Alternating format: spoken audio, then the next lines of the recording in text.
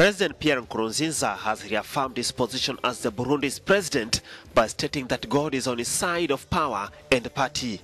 He issued the sentiment on Sunday during an extraordinary congress organized by the ruling party, the National Council for Defense of Democracy Forces for the Defense of Democracy. Many people in the world have always stated that there will be no elections in Burundi, but God has always been stronger, and we thank Him because He has been with us and He has always been on our side.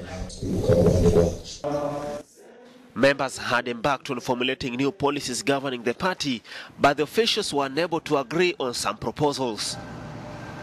One of the proposals was to reduce the power of the head of the party and give more authority to the Secretary General, which some members rejected. The members also introduced a special council of the party that will always advise the party leader and the president. Nkurunziza has remained the flag bearer of the party, having faced no opposition.